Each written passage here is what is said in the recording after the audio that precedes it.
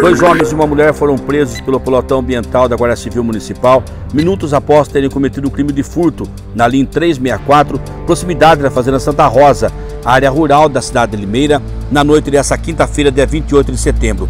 Um quarto criminoso conseguiu fugir. É, recebemos informação de que ocorreu um, um furto na Fazenda Santa Rosa, aqui na linha 364, e depois de ser irradiada essa informação, as viatura, viatura rural partiu para fazer um patrulhamento no local, no momento esse que deparou com a Paraty. A Paraty emprenhou fuga, a viatura acompanhou e em certo momento ela veio se chocar no barranco, tentando fugir e também chocar com a viatura.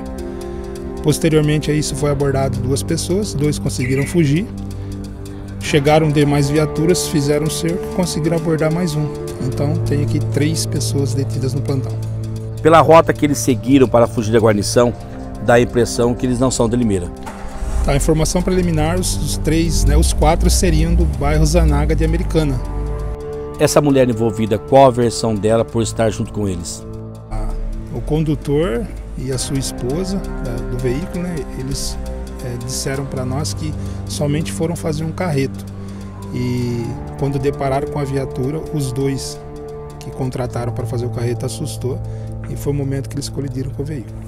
O senhor já tem informações se algum deles possui passagem pela polícia? Então, o, um deles, um dos capturados, eles preliminar também, ele é foragido da justiça. Muito obrigado, subinspetor Moisés, pelas informações. Bom, os três estão sendo ouvidos pelo delegado nesse momento. Os utensílios domésticos recuperados pelos agentes também já foram recolhidos e serão entregues em seguida para a vítima. Sempre conectando vocês com as informações da cidade de Limeira, repórter Veloz para o Rápido no Ar.